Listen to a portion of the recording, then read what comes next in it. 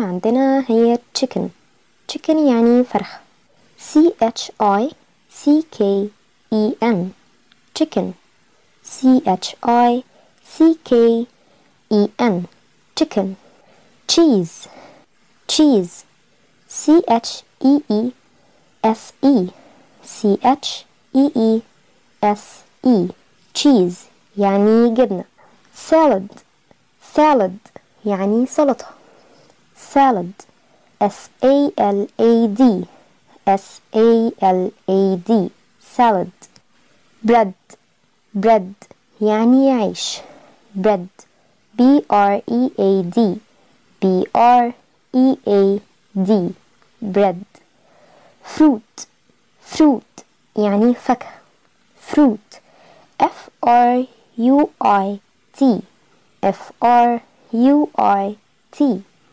آخر كلمة عندنا rice. rice يعني رز. R I C E.